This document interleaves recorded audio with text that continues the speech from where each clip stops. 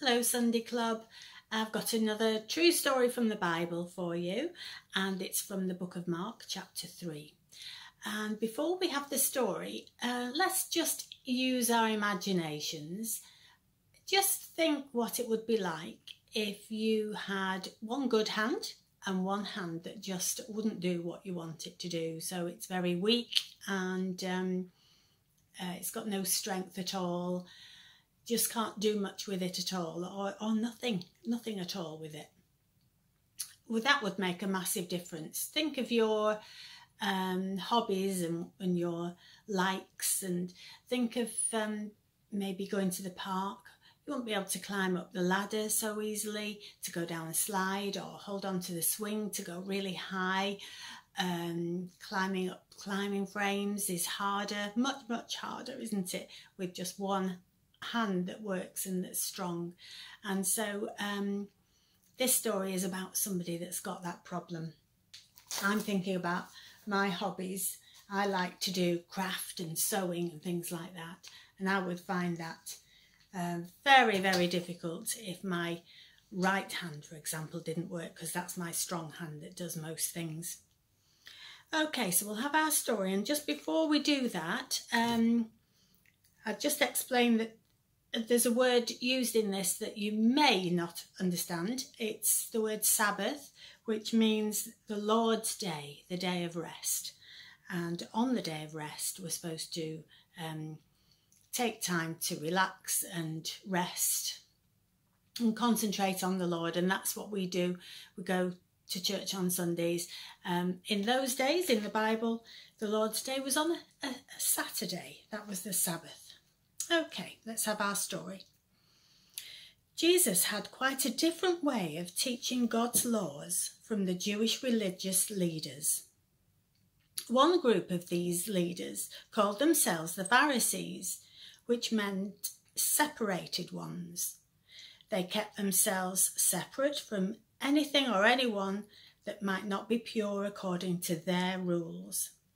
They tried very hard to be good and spent their lives keeping every tiny little rule that had been added to the law over the years that God gave through Moses. Hundreds of extra rules had been added to the commandment that says, Remember to keep the Sabbath day holy. The Pharisees taught that anything that they called work was forbidden on the Sabbath. They said that healing was work so no one could call the doctor unless the patient was going to die before the Sabbath was over. One Sabbath, Jesus came into a synagogue and saw a man who had a paralysed hand. He couldn't use it to do a daily job and earn his living properly. The Pharisees in the congregation watched Jesus with eagle eyes. Was he going to break their rules? By healing this man. Jesus knew exactly what they were thinking. He had already been in trouble with the Pharisees for not making his disciples observe their rules.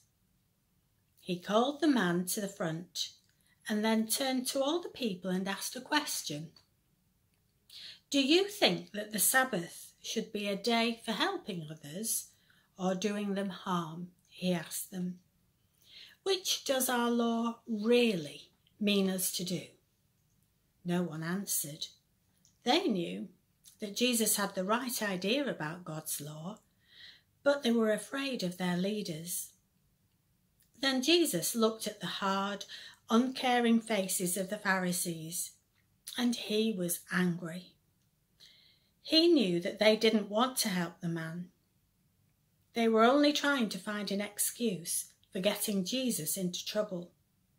But he was not afraid of them. Stretch your hand out, he told the man.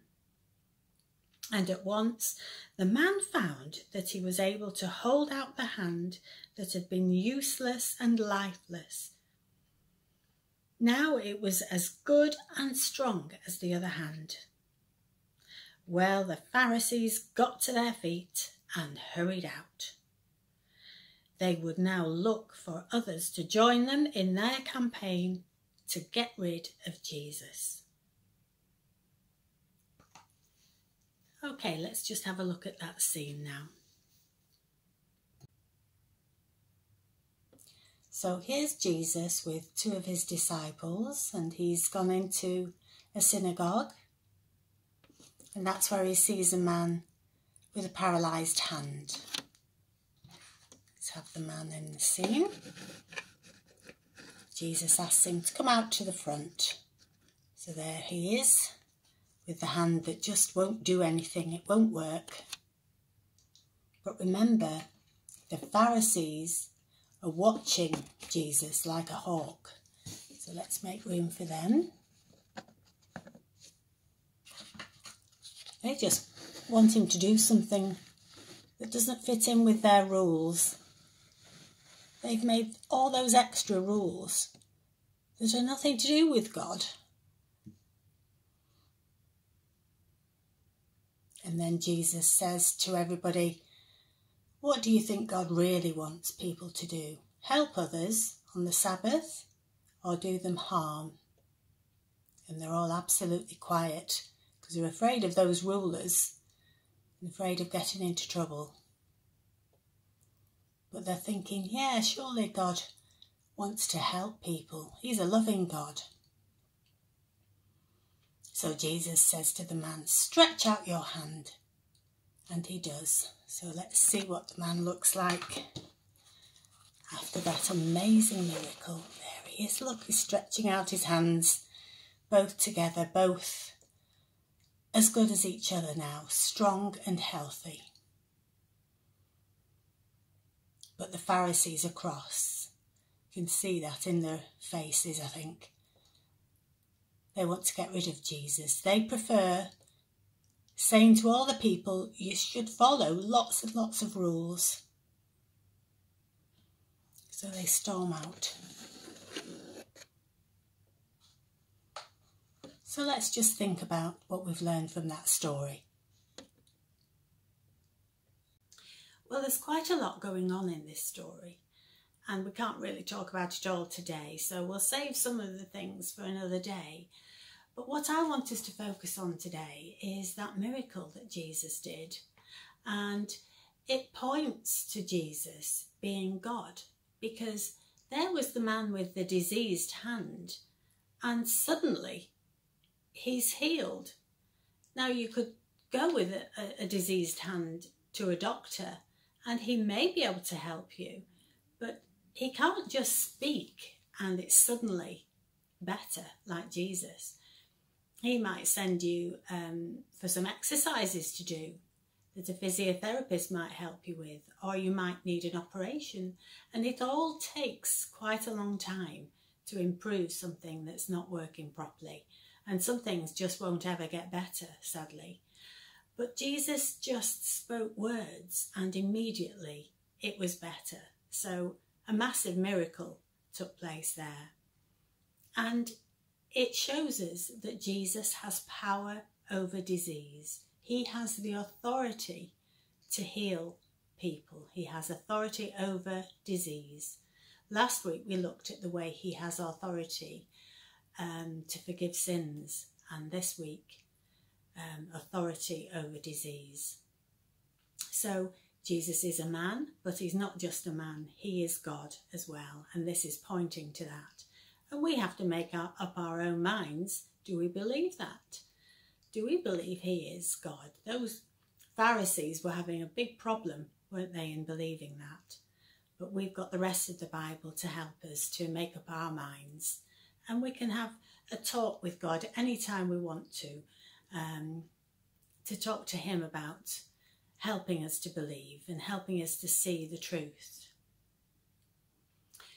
So we're going to have a, a little prayer now, and uh, before that, I'll just remind you of um, the memory verse that we've got, and that's from Matthew 28, and it's verse 18.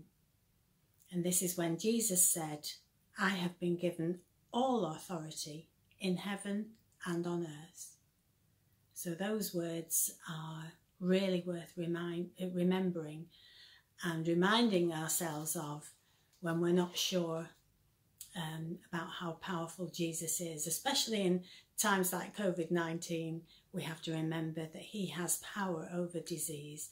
And although we might pray for somebody to get better, we, we're never sure um, whether they will get better or not. We have to leave that to God. It's His choice, it's Jesus's choice.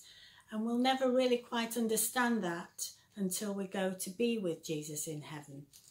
Uh, we won't understand fully why he does choose to heal some people and not others. But it's good to pray if you ever feel ill or if you have a, a friend or a loved one that uh, is ill. Prayer first is the, the thing to do and pray for, for healing.